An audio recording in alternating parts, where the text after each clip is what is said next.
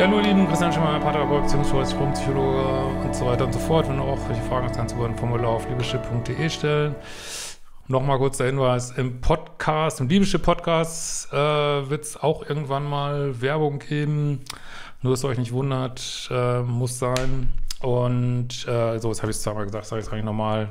Dann, genau, betrifft aber nur den Podcast. Äh, YouTube gibt es ja eh Videos, wenn ihr nicht ähm, YouTube Premium habt. So, heute mal die Frage, was mache ich denn, wenn ich mich trenne und der Partner respektiert diese Trennung oder äh, ja, meine Grenzen nicht. So, hallo Christian, ich habe eine Frage, auf die ich keine Antwort finde. Kurz mal eine Geschichte. Ich würde es jetzt nicht anträgern, ich fasse es mal grob zusammen. Bin in den 40ern, äh, Alkoholiker, äh, Eltern, also wenn ich, wie oft ich das, also meiner Ansicht nach ist das die ein Grund, warum man kein Alkoholiker sein sollte mit Kindern.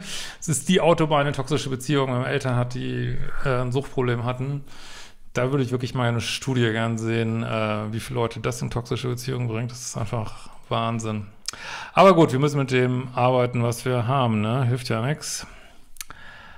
Äh, anschließend, äh, also ja, einer hatte auch stark narzisstische Verhaltensanteile, habe ich von einer toxischen Beziehung befreit die fünf Jahre dauerten. Wir wohnten nicht zusammen. Das ist mein zweiter Anlauf. Im ersten Anlauf, äh, man braucht, äh, wenn man die ganzen kleinen Sachen mitzählt, die kleinen On- und Offs, sagt man, man braucht sieben beziehungsweise zehn bis 15 Mal sich zu befreien, je nachdem, wie schnell man Mater äh, Zugang bekommt zu guten Materialien, gutem Wissen und auch natürlich anderen Faktoren. Auch Toxizität spielt auch eine Rolle der Beziehung ist leider normal, dass man viele, also mehrere Anläufe braucht. Was jetzt nicht heißt, dass du noch zehn machen sollst. Ne? Nicht, dass du das falsch verstehst.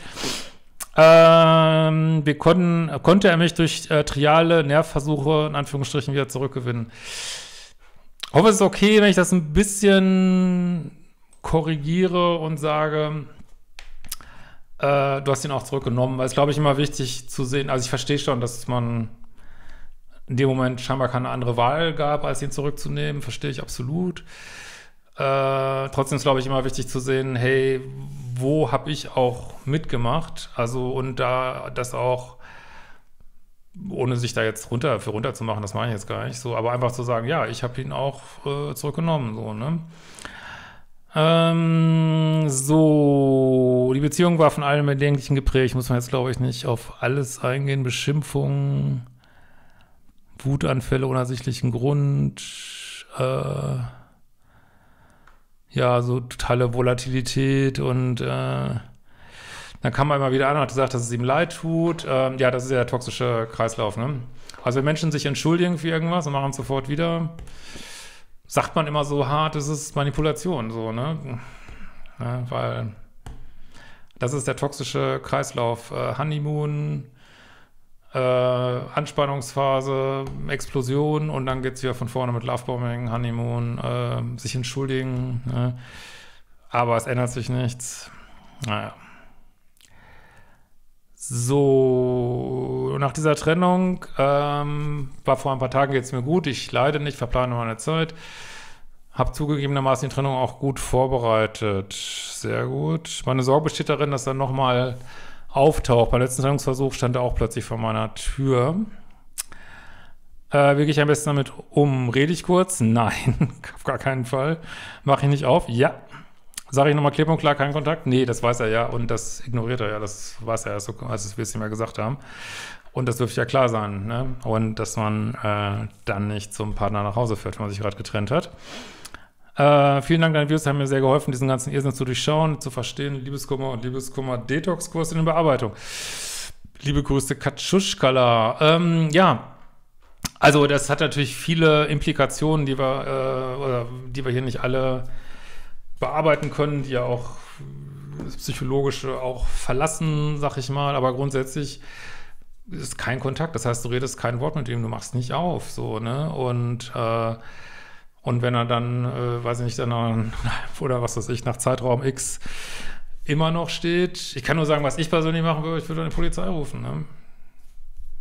Ja, sie mal gleich die Daten aufnehmen ne? und äh, und wenn das äh, öfter vorkommen sollte, ich meine, da gibt es, soweit ich weiß, gibt es bei der Polizei da spezielle BeamtInnen, ähm, die für sowas, das ist ja für die absolute Alltags, kommt ja ständig vor sowas, ähm, ja, dann äh, kann man sich ja beraten lassen. Gibt es eventuell Kontaktverbot? In krassen Fällen gibt es auch äh, weitere juristische Möglichkeiten, muss sich dann da entsprechend äh, beraten lassen. Aber es ist immer, äh, wie weit bist du bereit zu gehen, das jetzt wirklich zu beenden? Das ist die Frage des Universums.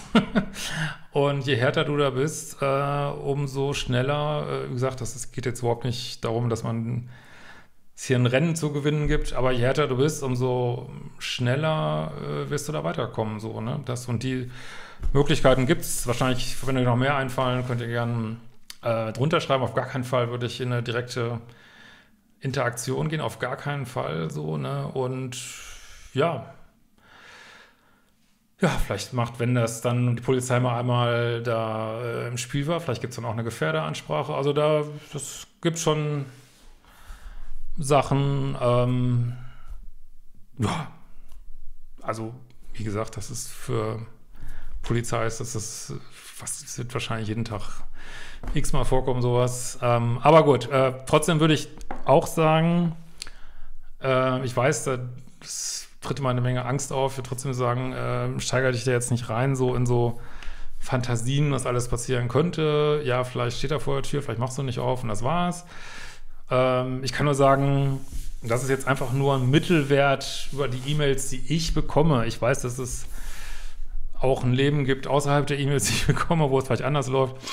Aber ich kann nur sagen, dass ich, ich persönlich jetzt selten von irgendwas lese, wo es so über sowas hinausgeht und oder fast eigentlich so gut wie gar nicht. Und man sollte auch ein bisschen, das gehört auch dazu zur Heilung von diesen Beziehungen, dass man sich nicht so, das ist nur meine Meinung, also wenn ihr das anders seht, würde ich sagen, dass man sich diese Angst auch nicht zu sehr hingibt, was könnte jetzt alles passieren. Die ist nämlich auch Teil dieses toxischen Trennungsprozesses, ne? Bist du nicht allein mit. Hoffe, ich konnte ein bisschen weiterhelfen. Wir sehen uns bald wieder. Ciao, ihr Lieben.